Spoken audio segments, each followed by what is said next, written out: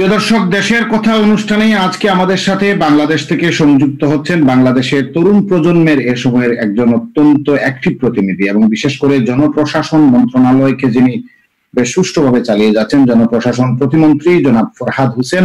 তার সাথে আছেন ডেনমার্ক আওয়ামী লীগের সাধারণ সম্পাদক মাহবুবুর রহমান এবং ফ্রান্স আওয়ামী লীগের সহ সভাপতি মঞ্জুরুল হাসান চৌধুরী সেলিম। আমরা মূলত আজকে যে বিষয় নিয়ে কথা বলব করোনা সংকট কোন পথে বাংলাদেশ? আমরা দেখেছি, একটু আগে জাতীয় পত্রিকায় দেখেছি, মাননীয় প্রধানমন্ত্রী বলেছেন যে, সঠিক ব্যবস্থাপনার কারণে করোনা অনেকটাই বাংলাদেশে কন্ট্রোলে আছে বা বাংলাদেশে সংকট পার হওয়ার পথেই। সে বিষয় নিয়ে মাননীয় মন্ত্রীর সাথে কথা বলব এবং বিশেষ করে ডেনমার্ক ও ফ্রান্সের কথাও তুলে ধরা হবে সেখানে। মাননীয় মন্ত্রী, আপনাকে আমাদের ইউরো বাংলা টেলিভিশনে ফ্রান্সের স্টুডিও থেকে স্বাগত জানাচ্ছি। আজকে এই ব্যস্ত সময় আমাদেরকে সময় দেওয়ার জন্য। সংক্ষেপে প্রথমেই যদি আপনার কাছে জানতে চাই যে করোনা সংকট কোন পথে বাংলাদেশ, সেক্ষেত্রে আপনি কি বলবেন? দেখুন, এটা তো একটা বৈশ্বিক মহামারী এবং এটা সারা বিশ্ববাসীর জন্য একটি নতুন অভিজ্ঞতা। সেই অভিজ্ঞতা আমাদের হয়েছে এবং সেটা আপনি দেখেছেন যে উন্নত দেশগুলো সবাই কিন্তু এরকম একটা যে মহামারী, সেটা মোকাবেলা করার জন্য কেউ প্রস্তুত ছিল না। এবং আমাদের কোনো ধারণাই ছিল না। প্রথম থেকেই আমরা একটা অন্ধকারের মধ্যে ছিলাম এবং আস্তে আস্তে আস্তে একটা বিষয়, একটি ধারণা তৈরি হয়েছে। তা হচ্ছে, এখন পর্যন্ত আমাদের কোনো প্রতিষেধক নাই। এখন পর্যন্ত আমাদের যে বিষয়টি এসে দাঁড়িয়েছে, তা হচ্ছে, মহামারী মানেই হচ্ছে নিজেকে আইসোলেশনে রাখা, নিজেকে যাতে করে সুরক্ষায় রাখা যায়, সেজন্য ঘরে থাকা। এই বিষয়টি ছিল প্রথম থেকে। আর একটি বিষয় হচ্ছে, এখন যেটা হয়েছে, তা হচ্ছে আমাদেরকে অবশ্যই নিরাপদ দূরত্ব মেনটেন করতে হবে, শারীরিক দূরত্বটা যাতে করে আমরা সকলেই সেটা মেনে চলি। আর একটা হচ্ছে আমাদের মাস্ক পরে চলতে হবে এবং অত্যন্ত সতর্কতার সাথে কিন্তু করোনাকে মোকাবেলা করতে হবে। তো সেক্ষেত্রে ইতিমধ্যে আপনি দেখেছেন যে আমাদের এখানে আমাদের মাননীয় প্রধানমন্ত্রী তিনি প্রথম থেকেই কিন্তু এই ব্যাপারে অত্যন্ত তার সুদক্ষ নেতৃত্বে চমৎকার ভাবে সেটা ম্যানেজ করার চেষ্টা করেছেন এবং আমরা আমাদের এইরকম একটা নতুন একটি অভিজ্ঞতা যেটি আমরা সমস্ত কিছু বন্ধ করে দিয়েছিলাম এবং আমাদের স্কুল, কলেজ ইউনিভার্সিটি গুলো আমাদের অন্যান্য যে বেসরকারি, আধা সরকারি সরকারি যে বিভিন্ন প্রতিষ্ঠান, আমরা কিন্তু বন্ধ রেখে আমরা কিন্তু আমাদের এইটা মোকাবেলা করার চেষ্টা করেছি। সেক্ষেত্রে এ পর্যন্ত আমাদের যেটা হয়েছে, আমরা আমাদের এই যে টেস্টিং সেন্টার যেটি ছিল আইডিসিআর এর একটি মাত্র, সেখান থেকে বেড়ে এখন আমরা বাহান্নটি, একটি থেকে বাহান্নটিতে উত্তীর্ণ হয়েছি। আমাদের সরকারি হাসপাতালগুলো সেটি আমরা প্রস্তুত করেছি এবং বেসরকারি হাসপাতালগুলো, সেগুলোও কিন্তু আমরা এইখানে যুক্ত করছি। এবং সেক্ষেত্রে এখন একটা, আমরা এটাকে মোকাবেলা করার জন্য একটি সমন্বিত উদ্যোগের মধ্য দিয়ে একটি অবস্থায় আসতে পেরেছি। এরই মাঝে আমরা ইতিমধ্যে যেটুকু আমরা সারা বিশ্ব থেকে যে অভিজ্ঞতা আমাদের হয়েছে, তা হচ্ছে এখানে যারা ঝুঁকিপূর্ণ মানুষ তাদেরকে অবশ্যই ঘরে থাকতে হবে। এবং সেটি হচ্ছে যাদের রেসপিরেটরি ডিজিজ আছে, যাদের লাংস প্রবলেম আছে, যাদের আপনার হার্ট কিডনি লিভারের সমস্যা আছে বা ক্রনিক ডায়াবেটিক্স আছে, তারা কিন্তু অত্যন্ত ঝুঁকিপূর্ণ। এবং এখন আমরা কিন্তু এর যে বিভিন্ন স্টেজ এটার আমরা বলতে পারি স্টেজ ফোরে আছি আমরা। এখানে এখন সবচেয়ে অতিমাত্রায় সংক্রমণ হচ্ছে। তো এক্ষেত্রে আমরা অবশ্যই আমাদের জনগণকে সতর্ক করার যে বিষয়টি এবং মানুষকে ঘরে রাখার যে বিষয়টি অযথা বাইরে না আসার ব্যাপারটি। এর মাঝেই কিন্তু আমাদেরকে অর্থনীতির চাকাকে চলমান রাখার জন্য সীমিত আকারে আমরা অফিসগুলো খুলে দিয়েছি এবং সেক্ষেত্রে অবশ্যই ন্যূনতম সংখ্যক কর্মকর্তা নিয়ে যাতে করে আমাদের অর্থনৈতিক কর্মকাণ্ডগুলো আমরা চালিয়ে নিতে পারি। কারণ আমরা ইতিমধ্যে জাতিসংঘ এবং বিভিন্ন প্রতিষ্ঠানের মাধ্যমে আমরা কিন্তু একটি আভাস পেয়েছি যে করোনায় যা মৃত্যু হবে তার চেয়ে অনেক বেশি মৃত্যু হতে পারে মানুষ অনাহারে থেকে। সেটি মাননীয় প্রধানমন্ত্রী ইতিমধ্যে কৃষির উপরে সবচেয়ে বেশি জোর দিয়েছেন এবং আপনারা দেখেছেন যে আমরা ছাত্রলীগ, কৃষক লীগ, আওয়ামী লীগের অন্যান্য সংগঠন এবং সকলকে কাজে লাগিয়ে যথা সময়ে একটি ঝড়ের আগে একটি বড় ঝড়ও হয়ে গেল এই করোনা দুর্যোগের মধ্যে। আরেকটি দুর্যোগ যে আমফান সেটি আমাদের মারাত্মকভাবে ক্ষতি করেছে। তার আগে কিন্তু আমরা ধান কেটে মাননীয় প্রধানমন্ত্রীর নেতৃত্বে নির্দেশে সেটি কিন্তু আমরা করেছি। এখন মাননীয় প্রধানমন্ত্রী যেটি ব্যাপকভাবে আমাদের যেটা ঋণ ঋণ সুবিধা, অত্যন্ত অল্প সুদে এবং বিভিন্ন রকম অনুদান বিভিন্ন রকম যে আমাদের আমাদের কনসেশনগুলো দিয়েছেন, এর মাধ্যমে যাতে করে আমরা এগিয়ে যেতে পারি, সেই ব্যবস্থাটি তিনি করছেন এবং তিনি নিজে সক্রিয়ভাবে সবসময় ভূমিকা রাখছেন যাতে করে আমরা এটাকে কাটিয়ে উঠতে পারি। তা আপনি নিশ্চয়ই দেখেছেন, আমরা আমাদের এই উপমহাদেশে বাংলাদেশ একটি সমতল ভূমির দেশ এবং পৃথিবীর সবচেয়ে বেশি ঘনবসতিপূর্ণ একটি দেশ। এবং এই দেশে যারা অনুমান করেছিল যে ব্যাপকভাবে মৃত্যুহানি হবে বা এফেক্টেড হবে আমাদের সুদক্ষ নেতৃত্বে। আজকে আপনি এই যে ডিজিটালাইজেশনে যোগ দিয়েছি আমি, এটি কিন্তু আমাদের শেখ হাসিনা সরকারের অবদান, আপনি জানেন। আজকে সারা বিশ্বের সাথে আমরা মডার্ন ওয়ার্ল্ডের পার্ট হিসেবে কিন্তু আমরা অবস্থান করছি। আপনি জানেন যে এটা করতে গিয়ে আমাদের সমালোচিত হতে হয়েছিল। তারপরে আমাদের যে আমাদের ইলেকট্রিসিটি আজকে প্রায় আমরা ninety eight percent electricity electrification আমরা করেছি। সেটা একটা বিশাল একটা অবদান এবং এই যে বঙ্গবন্ধু স্যাটেলাইট লঞ্চ করা হলো এটাও কিন্তু আমাদের বিশাল একটি অবদান। এই তিনটি শক্তি থাকার কারণে করোনাকে আমরা এখন ঘরে থেকে কাজ করা, মানুষকে কম সংখ্যক লোক যাতে করে রাস্তায় নামে সে বিষয়টি এবং আমরা এই বন্দি দশার মধ্যেও কিন্তু আমরা ভিতরে ভিতরে আমরা কিন্তু অফিসের কার্যক্রমগুলো চালিয়ে যাচ্ছি, অর্থনৈতিক কর্মকাণ্ডগুলো চালিয়ে যাচ্ছি। ধন্যবাদ আপনাকে। আপনার আমরা ডেনমার্কে জনাব মাহবুর রহমান আছেন, তিনি ডেনমার্ক আওয়ামী লীগের সেক্রেটারি। আপনি জানেন যে ইউরোপে যখন করোনা সংকটের প্রায় শেষের দিকে। আপনি জানেন ইউরোপের অবস্থা এখন অনেকটা ভালো। তখন কিন্তু ডেনমার্কে প্রথমেই লকডাউন উঠিয়ে নেওয়া হয়েছিল এবং সেখানে একটা বিশাল অভিজ্ঞতা। আপনি আজকে যদি বাংলাদেশের কথা চিন্তা করেন, তাহলে চব্বিশশো তেইশ জন করোনা আক্রান্ত হয়েছেন। হয়তোবা আমরা টেস্ট করেছি দশ হাজারের মতো, হয়তোবা। অনেকে বা বিরোধী দল বা জাতীয় পত্রিকাগুলোতে আমরা দেখছি যে টেস্টের সংখ্যা কম। সে কথা আপনারা পরে আসতেছি। তবে ডেনমার্কের সেক্রেটারির কাছ থেকে আমরা জানতে চাই এবং তিনি বিশেষ করে আপনার এলাকার, সে এলাকার অবস্থাও তিনি তুলে ধরতে চান। ধন্যবাদ তাহে ভাই। প্রথমে ডেনমার্ক আওয়ামী লীগের পক্ষ থেকে সম্মানিত মন্ত্রী, মাননীয় মন্ত্রী জনাব ফরাদ দদুল ভাই। আমি ডেনমার্ক আওয়ামী লীগের পক্ষ থেকে আমি আমার মন্ত্রীকে স্বাগতম জানাচ্ছি এবং অভিনন্দন জানাচ্ছি। আমি গাংনির ছেলে, আমার বাড়ি গাংনি বেদবাড়িয়া আমার মানে বহুদিনের ইচ্ছে আমার মন্ত্রীর সাথে একটা মুখোমুখি দেখা, কথা বলার সৌভাগ্য। আজকে হয়েছে? আজকে ডেনমার্ক আমেরিকার পক্ষ থেকে আমার মাননীয় মন্ত্রী, আমার মেহেরপুরের স্বপ্ন, আমাদের মেহেরপুরের তরুণদের প্রতীক আজকে জন্মদিন। আজকে ডেনমার্ক আমেরিকার পক্ষ থেকে এবং ব্যক্তিগত এবং পরিবারের পক্ষ থেকে আমার মাননীয় মন্ত্রী ফরাদ হোসেন দুদুল ভাইকে শুভ জন্মদিন জানাচ্ছি। সাথে সাথে ডেনমার্ক আমি ডেনমার্কে দীর্ঘদিন থাকি। প্রায় চব্বিশ বছর। আমি চট্টগ্রাম বিশ্ববিদ্যালয়ের ছাত্র ছিলাম। সেখান থেকে চাকসু নির্বাচনের প্রতিনিধি করেছি।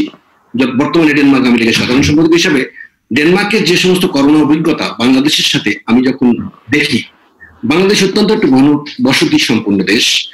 বাংলাদেশের মানুষের যে গড় ইনকাম ডেনমার্কের মানুষের যে গড় ইনকাম তার সাথে আমি কম্পেয়ার করতে পারি না। সেই ক্ষেত্রে বাংলাদেশের ডিজিটালের যুগ মাননীয় মন্ত্রী বলেছে, সেই জায়গাতে যা অবদান জননীতি শেখ হাসিনার জননীতি শেখ হাসিনা মেহনতি মানুষের পাশে দাঁড়িয়েছে, অনেকগুলি যে ইনসেন্টিভ দিয়েছে যা জনগণের দ্বার প্রান্তে স্বাস্থ্যসেবা সহ নগদ অর্থ মানুষ পেয়েছে। আজকে মাননীয় মন্ত্রী আমাদের মাঝে উপস্থিত আছেন। মাননীয় মন্ত্রী নিজস্ব অর্থায়নের আমাদের মেহেরপুরে এগারো হাজার অনাথ মানুষ, মেহনতি মানুষকে খাদ্য দ্রব্য পৌঁছে দিয়েছেন আমাদের আমাদের মেহেরপুরে একটি কৃষি প্রধান জায়গা। মাননীয় মন্ত্রী জানেন। মাননীয় মন্ত্রীর নিজস্ব চেষ্টায় আমাদের মেহেরপুর এবং বৈদ্যনাথ বৈদ্যনাথতলা ও সাইডটাতে বাংলাদেশের ট্রেন যোগাযোগ ছিল না মেহেরপুরের সাথে। আমাদের মাননীয় মন্ত্রী করেছেন।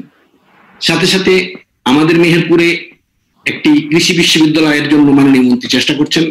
আমরা, আমি সুদূর ডেনমার্ক থেকে, আমি আশা করছি আমাদের মেহেরপুরের দীর্ঘ সাতচল্লিশ বছর পরে মাননীয় মন্ত্রী, আপনি বাংলাদেশের, সমস্ত বাংলাদেশের জনপ্রশাসন মন্ত্রী, আপনাকে আমাদের ডেনমার্ক আওয়ামী লীগের পক্ষ থেকে অনুরোধ জানাব, ব্যক্তিগত পক্ষে অনুরোধ জানাব যে মেহেরপুরে খেটে খাওয়া মানুষের জন্য, কৃষি একটা বিশ্ববিদ্যালয় করার জন্য আপনি চেষ্টা করবেন। আজকে করোনা নিয়ে যে প্রশ্ন করা হয়েছে, করোনা বাংলাদেশের না, একটা সারা পৃথিবী ব্যাপী একটি মহামারী, সেই পৃথিবীতে উন্নত দেশগুলিতে আজকে করোনাকে সামলাতে পারেনি। বিজ্ঞান অনেক উন্নতি হয়েছে। সায়েন্স আজকে উচ্চ শিখরে বড় বড় দেশ যেখানে ব্যর্থ হয়েছে তাদের করোনা মোকাবেলা করতে। বাংলাদেশের অর্থনীতি, বাংলাদেশের সরকার জননেত্রী শেখ হাসিনা ভালোভাবে বাংলাদেশকে যে করোনা প্রাদুর্ভাবকে মোকাবেলা করেছে। আপনি যদি দেখেন পৃথিবী অন্য দেশের চেয়ে বাংলাদেশের, এখন বর্তমানে যে আক্রান্তর হার এখনও অনেক অনেক কম। জনসংখ্যার তুলনায় অনেক কম। তো আমরা আসলে মাননীয় মন্ত্রী বক্তব্য শুনব। আজকে শুভ জন্মদিনের শুভেচ্ছা জানিয়ে আবার আমি ধন্যবাদ জ্ঞাপন করছি মাননীয় মন্ত্রীকে এবং ডেনমার্কতে আসার জন্য আমন্ত্রণ করছি। ধন্যবাদ। মাননীয়মন্ত্রী আপনার কাছে আসছি। তার আগে আমি ফ্রান্স আওয়ামী লীগের সহসভাপতি মঞ্জুরুল হাসান চৌধুরী সেলিম, তিনি চট্টগ্রামের বাসিন্দা এবং এখানে একজন ব্যবসায়ী বটে। উনার কাছ থেকে বিশেষ করে ফ্রান্সে আপনি জানেন যে করোনা ভাইরাসের অনেকটাই উন্নতির পথে লকডাউন শিথিল করা হয়েছে। জনাব মঞ্জুরুল হাসান চৌধুরী সেলিম, আপনার বক্তব্য মাননীয় মন্ত্রীর উদ্দেশ্যে। ধন্যবাদ তাহের ভাই। আমি শুরুতে আমার প্রাণপ্রিয় মন্ত্রী সাহেবকে আমি অন্তরের অন্তঃস্থল থেকে অভিনন্দন জানাচ্ছি এবং ফ্রান্স আওয়ামী লীগের পক্ষ থেকে ওনাকে সালাম জানাচ্ছি। আপনারা জানেন, করোনা সংকট নিয়ে, করোনা আজকে সারা বিশ্ব আজকে খুবই চিন্তিত, কারণ এই সম্বন্ধে আমাদের পূর্ব অভিজ্ঞতা ছিল না। আমার দৃষ্টিতে বাংলাদেশে যেভাবে করোনা সংকটকে মোকাবিলা করা হচ্ছে, এটা নিঃসন্দেহে আমাদের মাননীয় মন্ত্রী এবং আমাদের আজকের প্রশাসন, আজকে আজকে আমাদের আওয়ামী লীগ সরকারের এটা আমি অবদান বলে আমি মনে করি। ফ্রান্সে যখন করোনা সংকট শুরু হলো, তখন আমি দেখতে, আমরা দেখতে পেয়েছি এখানে, ধরতে গেলে প্রশাসনের প্রায় স্থবিরতা বিরাজ করেছিল। সেই জায়গায় বাংলাদেশের লকডাউনের সময় আজকে যে প্রশাসনকে শোষণ রেখেছে এবং সীমিত আকারে শোষণ রেখেছে, এটা নিঃসন্দেহে আমি মনে করি আমাদের মন্ত্রী সাহেবের মন্ত্রণালয়ের অবদান বলে আমি মনে করি।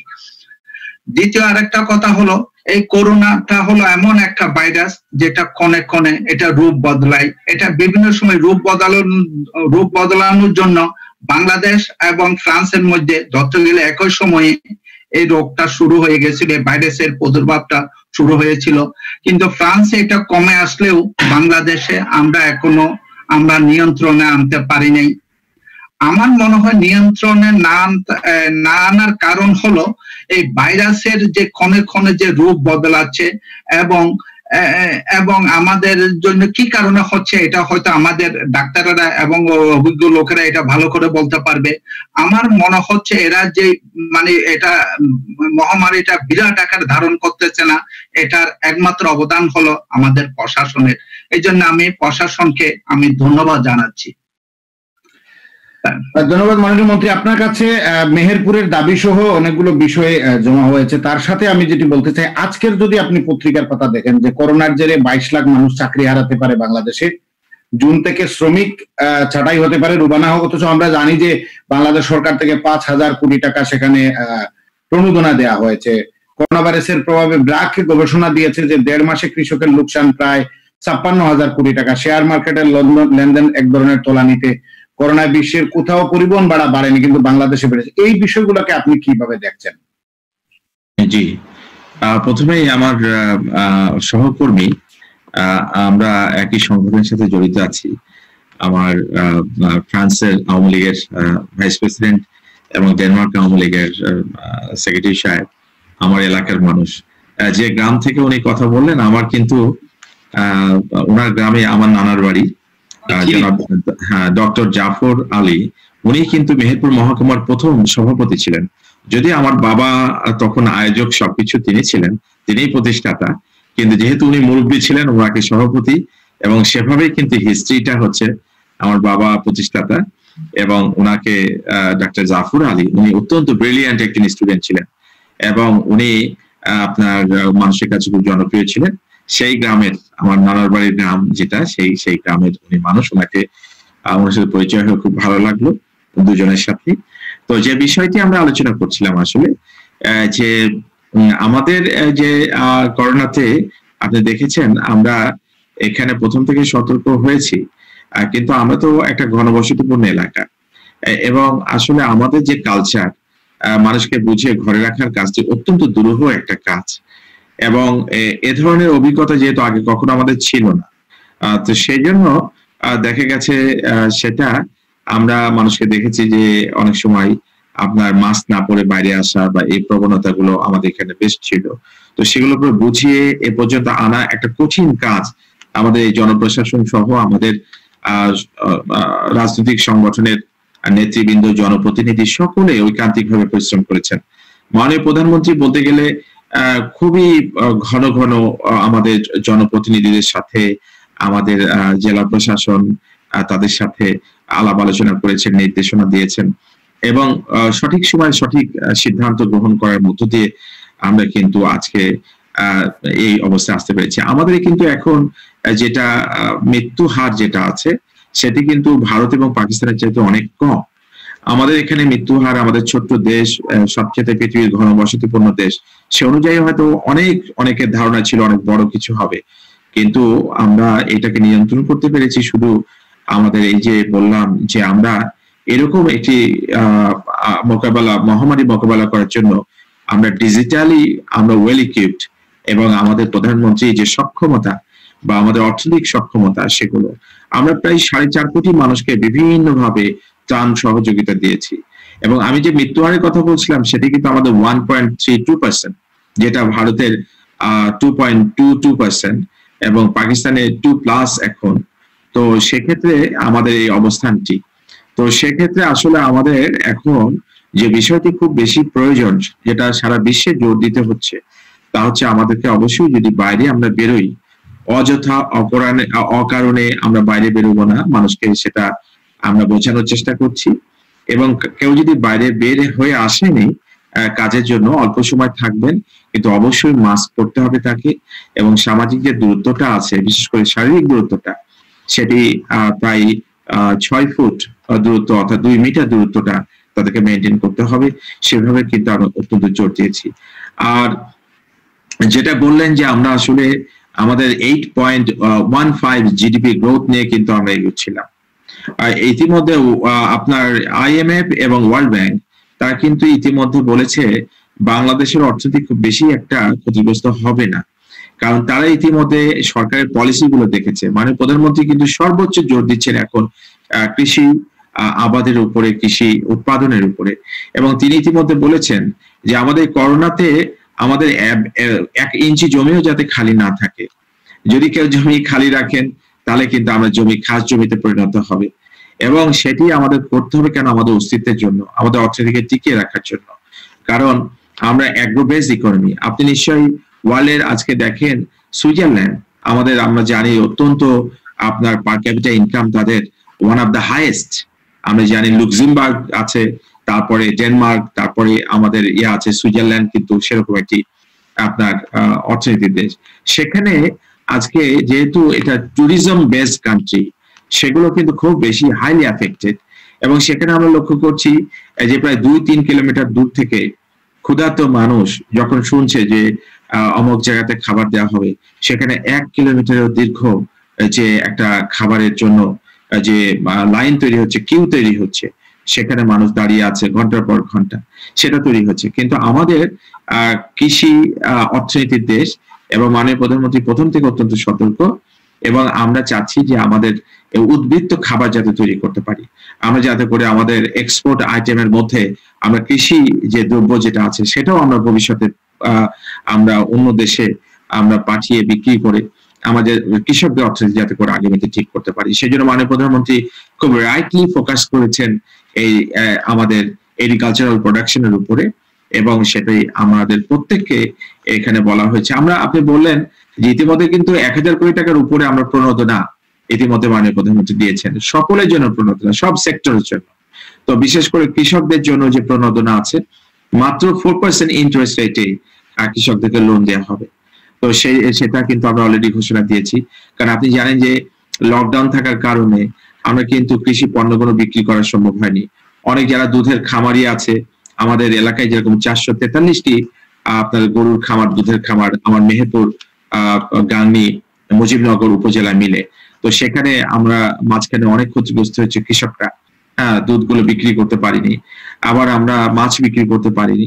আবার আমাদের সবজি নির্ভর, আমাদের কিন্তু অত্যন্ত গ্রিন আমরা কিন্তু তিন চারটা জেলাতে জেলাতে সারপ্লাস সবজি আমরা কিন্তু সরবরাহ করে থাকি। তো কৃষকরা সবজিটা বেশ ক্ষতিগ্রস্ত হয়েছে। এবং আমফান ঝড় কিন্তু আমাদের এলাকার উপর দিয়ে কিছু অংশে গিয়েছে। মেহেরপুর, চুয়াডাঙ্গা, ঝিনাইদা, ওদিকে যশোর, সাতক্ষীরার উপর দিয়ে।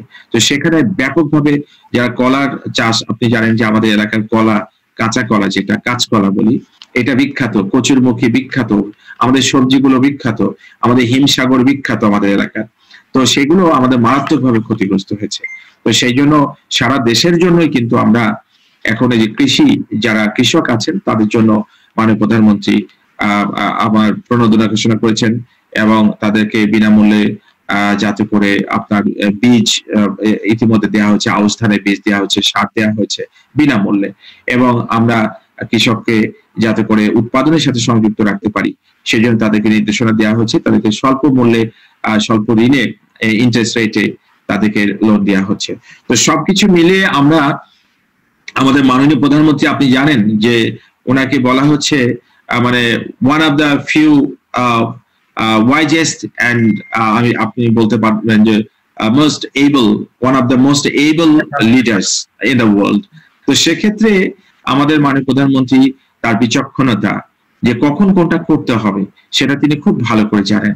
এবং তিনি যে নির্দেশনাগুলো দিচ্ছেন, সেটা আমরা সেইভাবে আমাদেরকে সরকার কাজ করছে। এবং সে অনুযায়ী আমরা কিন্তু প্রবলেমগুলি সলভ করতে পারছি বলে আজকে আইএমএফ এবং ওয়ার্ল্ড ব্যাংক বলছে যে বাংলাদেশের জিডিপি ফাইভ এর নিচে যাবে না। আমরা eight point one five percent ছিলাম। সেখান থেকে এখন আমাদের এটির যে বিষয়টি, অন্যদের অবস্থাটা আপনি জানেন যে অত্যন্ত খারাপ। সে তুলনায় আমাদের অর্থনীতি আমরা ধরে রাখতে চাই। একই সাথে অর্থনীতির চাটা যাতে চলমান থাকে, আমরা এই পনেরো দিনের ছুটি দিয়েছি যে একত্রিশে মে থেকে পনেরোই জুন পর্যন্ত। এর মধ্যে কিন্তু আমরা আমাদের সর্বোচ্চ মানে সর্বনিম্ন সংখ্যক কর্মকর্তা নিয়ে আমরা কাজ করার চেষ্টা করছি। যারা ঘরে বসে কাজ করতে পারবেন তারা ঘরে থেকেই কাজ করবেন। আমরা বিভিন্ন রকম আমাদের নিষেধাজ্ঞা দিয়েছি, যাতে করে আমরা আমাদের অর্থনীতিটাকেও চালিয়ে নিতে পারি। একই সাথে আমাদের যে, আমাদের কৃষি উৎপাদন সেটাকে আমরা চালিয়ে নিতে পারি এবং করোনাকে মোকাবেলা করতে পারি। সে তিনটা জিনিসের সমন্বয় করে কিন্তু অত্যন্ত সতর্কতার সাথে সরকার আমাদের আগামীর ভবিষ্যৎ এবং ইকোনমিকে টিকে রাখার জন্য সব ধরনের উদ্যোগ ইতিমধ্যে গ্রহণ করেছে। ধন্যবাদ আপনাকে। আজকে আপনার জন্মদিন, তো সেক্ষেত্রে আমরা অনেক কথা আপনার গুরুত্বপূর্ণ কথাগুলো শুনেছি, যেগুলো প্রবাসীদের এবং দেশের মানুষের উপকার হবে। আমি সংক্ষেপে এক মিনিটে যদি সেলিম ভাইয়ের কাছে বলি, একদিকে আমরা, আমাদের আজকের যে প্রধান অতিথি ওনার জন্মদিন, জন্মদিনেই আমরা টকশো করছি। তার সাথে আপনার কোনো দাবি আছে কি মাননীয় মন্ত্রীর কাছে? কারণ আপনি জানেন যে এই মুহূর্তে জনপ্রশাসন মন্ত্রণালয় সবচেয়ে গুরুত্বপূর্ণ মন্ত্রণালয়। ধন্যবাদ। আমাদের এখন ওনার, আমাদের মাননীয় মন্ত্রী সাহেবের মুখ থেকে আমরা একটা কথা শুনলাম। এত করোনার মধ্যেও করোনার সংকটের মধ্যেও আমরা অর্থনীতির চাকাকে আমরা সচল রাখতে অনেকটা সক্ষম হয়েছি। আমার ওনার কাছে একটা দাবি থাকবে, আজকে ইউরোপের সমস্ত ইউরোপের একটা ধারণা, ইউরোপ ইউরোপ না, শুধু আমি বলব বিশ্ববাসীর একটা ধারণা হলো এই করোনা সংকটটা অনেকটা চাইনার সৃষ্টি। এই জন্য ইউরোপের মধ্যে একটা চাইনার উপর একটা বিদ্রুপ একটা খারাপ মনোভাব ইউরোপের লোকদের কাছে আছে। তার মানে আমার আমার এখানে আমার দাবিটা হলো, এখন দেখা যাচ্ছে অনেক বড় বড় ব্যবসাগুলো এখন চাইনা থেকে এরা চাবে অন্যান্য দেশের দিকে ডাইভার্ট করার জন্য। এখন আমরা আমাদের বিভিন্ন দেশের মিশনগুলা এবং আমাদের সংশ্লিষ্ট সংশ্লিষ্ট মন্ত্রণালয়গুলো যদি একটু ভালো করে উদ্যোগ নেয়, তাইলে আমাদের ব্যবসা বাণিজ্যগুলা এবং বড় বড় ইন্ডাস্ট্রিগুলা হয়তো আমাদের বাংলাদেশ মুখী করা সম্ভব বলে মনে করি। কারণ ইউরোপের ধারণা ধারণা হলো বাংলাদেশের লোকগুলা হলো ভালো লোক এবং পরিশ্রমী এবং এরা ব্যবসা করতে জানে। সুতরাং আমি আমার মাননীয় মন্ত্রীর কাছে আমার একটা দাবি থাকবে এই ব্যাপারে যদি উদ্যোগ নেওয়া হয় তাইলে আমাদের মনে হয় অর্থনীতির চাকাটা আরও বেশি আমাদের সচল হবে বলে আমি মনে করি। ধন্যবাদ। ধন্যবাদ। মাহবুব ভাই আপনি এক মিনিটে বলবেন। আপনার যেহেতু এলাকার আমরা মিলিয়ে দিয়েছি এক মিনিট আপনার কোনো দাবি থাকলে বলবেন প্লিজ। আসলে মাননীয় মন্ত্রী এমন একজন পরিবারের সন্তান যিনি বাবা জনাব সহিউদ্দিন আমাদের মেহেরপুর, কুষ্টিয়া, চুয়াডাঙ্গা বৃহত্তর যখন একটা জেলা ছিল, সেটার উনি প্রতিষ্ঠাতা উনি বাবা একজন প্রতিষ্ঠাতা আওয়ামী লীগের সভাপতি, মেহেরপুর। একাধারে আমাদের মন্ত্রী যেভাবে দুই দুইবার নির্বাচিত সাংসদ, উনি বাবা একজন সাংসদ ছিলেন। এবং সবচেয়ে বড় কথা, বাংলাদেশের স্বাধীনতা স্বাধীনতার সংগঠক উনি উনির বাবা। তার চেয়ে বড় কথা বাংলাদেশের যে প্রথম সরকার গঠন হয়, মুজিবনগর সরকারের পরিকল্পনা উনি ছিলেন। বঙ্গবন্ধুর সহযোদ্ধা এবং সহচর ছিলেন উনি। উনি তার সন্তান, আমি তার সাথে কথা বলছি। দাবি ডেনমার্ক সুদূর ডেনমার্ক থেকে আসলে দাবি, আমি তো মেহেরপুরের সন্তান আমি তো মেহেরপুরের প্রতিটা মানুষের দাবি ভাইয়ের কাছে, আমার মন্ত্রীর কাছে। আজকে মেহেরপুরে তেপান্ন হাজার যে খেটে খাওয়া মানুষ, বেকার মানুষকে আমাদের মন্ত্রী জননেত্রী শেখ হাসিনা ত্রাণ তাদের কাছে পৌঁছে দিয়েছেন। আজকে মেহেরপুরের জনগণ মন্ত্রীর উপরে সম্পূর্ণ আস্থা রাখেন। সারা বাংলার মানুষের কাছে একমাত্র জনপ্রতিনিধি হিসাবে সুবক্তা, সুদর্শন সব দিক থেকে আমার মন্ত্রী মানে চারিদিকে প্রশংসিত। তো আমি তার এলাকার লোক হিসাবে আমি এটাই বলব, সামনের দিন আপনার সুন্দর ভবিষ্যৎ, সুস্বাস্থ্য এবং আপনাকে আমাদের এলাকার জন্য সাতচল্লিশ বছরের পরে আপনাকে আমরা পেয়েছি। আপনাকে আরও সামনে সুন্দর এবং সামনে রেখে আমরা কাজ করতে চাই। ইনশাল্লাহ জননেত্রী শেখ হাসিনার হাত শক্তিশালী করার জন্য আপনার মতো মন্ত্রী, আপনার মতো নেতা, আপনার মতো আদর্শিক, সৎ ব্যক্তি আমাদের পথ নির্দর্শক ধন্যবাদ ধন্যবাদ মাহবুব ভাই। আপনার কাছে যাওয়ার আগে আমাদের ইউরো বাংলা টেলিভিশনের পক্ষ থেকেও আপনার জন্মদিনে অনেক শুভেচ্ছা। আজকের দিনটি আমাদের জন্য স্পেশাল আপনাকে পেয়েছি। তার সাথে প্রবাসীদের উদ্দেশ্যে আপনার বক্তব্য কি দুজনের বক্তব্যের সাথে? দয়া করে বলবেন। হ্যাঁ এই কথাটি আমি বলতে চাচ্ছিলাম যে মঞ্জুরুল হাসান ভাই যে কথাটি বলছিলেন বা আমাদের মাহবুব মাহবুব রহমান সাহেব যে কথাটি বলছিলেন আপনারা যারা প্রবাসে আছেন দেশ নিয়ে যে কথা আপনারা চিন্তা করেন আপনাদের যে দেশপ্রেম সেটি যে কতটুকু জাগ্রত থাকে, সেটি কিন্তু আপনাদের কথা শুনলে বোঝা যায়। আপনারা এই যে ভালো ভালো পরামর্শগুলো যে দেশের বাইরে থেকে আপনারা যদি দেন, যে আমাদের কিন্তু দেশকে সামনের দিকে এগিয়ে নিতে হবে। আমরা কিন্তু অত্যন্ত মেধাবী জাতি। আমরা কিন্তু অনেক বীরের জাতি, অনেক ত্যাগ তিতিক্ষার বিনিময়ে কিন্তু আমাদের স্বাধীনতা অর্জন করেছি, অনেক রক্তের বিনিময়ে। আমাদের কিন্তু, আমরা সেই জাতি, যে জাতি কিন্তু ভাষার জন্য প্রাণ দিয়েছে, জীবন দিয়েছে, রক্ত দিয়েছে।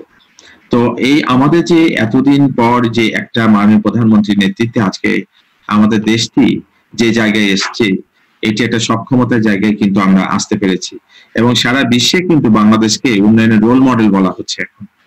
যে আমরা আমাদের এই যে প্রাকৃতিক দুর্যোগের দেশ, তারপরে আমাদের যে অনেক আমাদের প্রতিবন্ধকতা, সীমাবদ্ধতা উপেক্ষা করে এত মানুষের একটি দেশে আজকে জননেত্রী শেখ হাসিনা যেভাবে দেশটাকে পরিচালনা করছেন।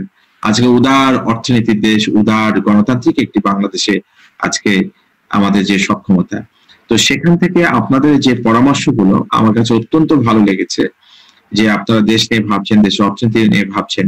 যে বিষয়টি আমাদের মঞ্জুরুল হাসান ভাই উত্থাপন করেছেন অর্থনীতির যে বিষয়টি, অত্যন্ত আমার মনে হয় যে ভালো একটি প্রস্তাবনা উনি দিয়েছেন। আমাদেরকে এখনই এই সুযোগগুলো নিয়ে চিন্তা ভাবনা করতে হবে। কারণ আপনি জানেন যে আমরা অনেক কিছু হারিয়েছি। যেখানে হারাতে হয়, সেখানেই খুঁজতে হয়।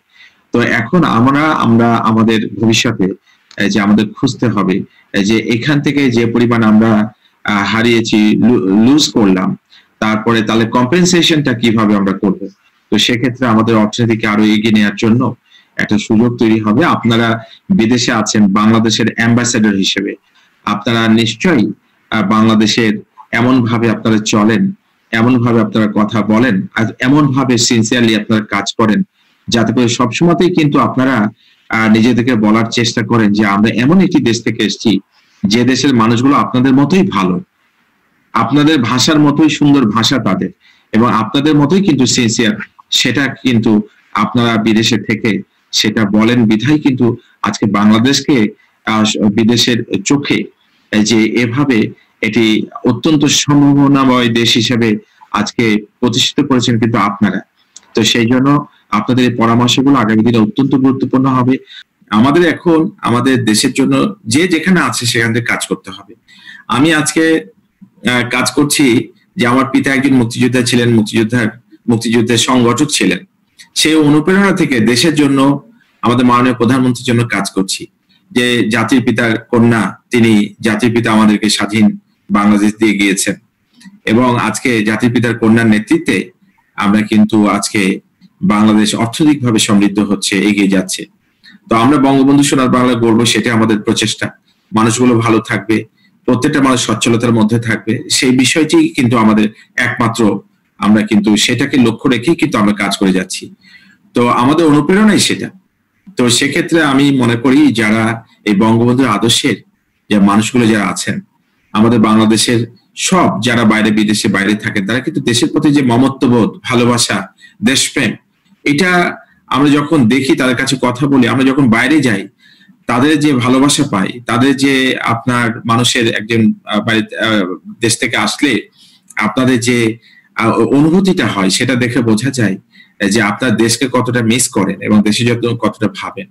তো সেই জন্য আমি সকলকে বলব, এই করোনা পরিস্থিতিতে আপনারা দেশের জন্য, মানুষগুলোর জন্য দোয়া করবেন। আপনার বাবা মা আছে, আপনার পরিবার এখানে রয়ে গেছে। আপনার মনটার আমি বলি যে সবসময়তেই বাংলাদেশে পড়ে থাকে।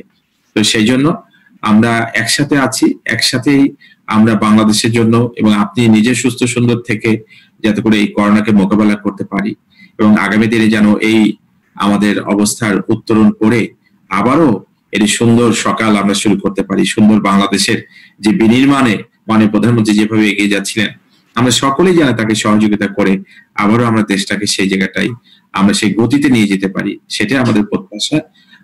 আশা করি যে আজকে আপনারা যে উচ্চারণটা করলেন আমার কাছে খুবই ভালো লেগেছে। এবং ইনশাল্লাহ আপনাদের সাথে আপনাদের জন্য শুভকামনা করি এবং যারা বিদেশে আছেন যারা অনেক দূরে থেকে দেশে বাবা মার জন্য ভাই বোনদের জন্য অনেক কষ্ট করছেন, দুঃখ করছেন বা অনেক টেনশন করছেন। তাদেরকে বলব যে, মাননীয় প্রধানমন্ত্রী আমাদের সকলের অভিভাবক প্রত্যেকটি মানুষ যাতে করে ভালো থাকে, কেউ যাতে অনাহারে না থাকে, আমরা সব ধরনের খোঁজ খবর রাখছি। হ্যাঁ সেটা আপনারা নিশ্চিন্ত থাকবেন যে, কোনো মানুষ যে অনাহারে বা কোনো মানুষ এখানে আপনার খারাপ থাকবে, সেটা থাকবে না। মাননীয় প্রধানমন্ত্রী সকলের জন্য চিন্তা ভাবনা করেই কিন্তু কাজ করছে। আমরা সেভাবে খোঁজ খবর রাখছি। ইনশাল্লাহ মাননীয় প্রধানমন্ত্রীর উপর আস্থা রাখবেন, এই সরকারের উপর আস্থা রাখবেন। আপনাদের সকলকেই আমার শুভেচ্ছা এবং ভালোবাসা। প্রধানমন্ত্রীর তরফ থেকে আপনাদেরকে অনেক অনেক ভালোবাসা। ধন্যবাদ আপনাকে প্রিয়মন্ত্রী আমরা, প্রিয় দর্শক, দেশের কথা অনুষ্ঠানে আজকে জনপ্রশাসন প্রতিমন্ত্রী জনাব ফরাদ হোসেনের সাথে কথা বললাম। আগামী পর্বে অন্য কোনো অতিথির সাথে কথা বলে আপনাদেরকে জানানোর চেষ্টা করব। ততক্ষণ পর্যন্ত সবাই ভালো থাকুন, সুস্থ থাকুন।